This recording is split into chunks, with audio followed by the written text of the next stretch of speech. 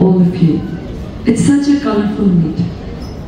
Everybody's so well dressed, so well done makeups, such beautiful suits, such wonderful smiles. I'm loving it. You made my day. Thank you. you made my day. I had such a tiring day since morning. I started my day by 8 in the morning. I almost covered 18 villages and post that the meetings in the city and I was exhausted, completely exhausted. But the moment I saw these beautiful faces, I must say, I must acknowledge, truly, and truth means God. To me, truth means God, right? So, I'm not lying. Your beautiful smiles and the wonderful women amongst whom I am today here have made my day. Thank you.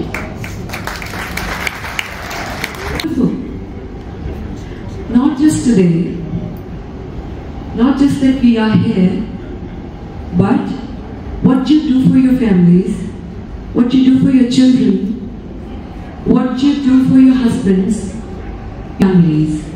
I must say, no matter anyone appreciates you or not, but what you do is beyond imagination.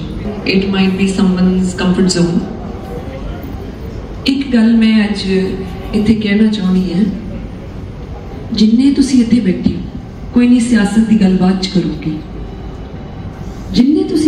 हाँ जी ma'am आज आप महिलाओं के बीच में campaign कर रहे हैं, क्या संदेश एक ही संदेश है, अपने संविधान को बचाना है और उसके लिए हमें भाजपा सरकार को इस देश देश से छुट्टी करनी पड़ेगी उस सरकार की और कांग्रेस पार्टी के लिए वोट करना पड़ेगा। एक ही मैसेज है। थैंक यू हाँ मैम आज अमृता की मीटिंग हुई है। क्या संदेश देना है आज मिसेस लीना शर्मा की तरफ़ से रखी हुई फ्रेंड्स एजेंसी के अंदर मीटिंग महिलाओं की जिसमें कि हमारे चीफ गेस्ट के तौर पर मिसेस अमृता वरिंग आए हैं और उनके साथ ममता आशु जी और यहाँ पर इस, यही एजेंडा हमारा इस टाइम की हमारे पंजाब प्रदेश कांग्रेस के प्रधान जो है, राजा अमरिंदर सिंह वड़िंग जी हमारे लुधियाना के एमपी कैंडिडेट हैं।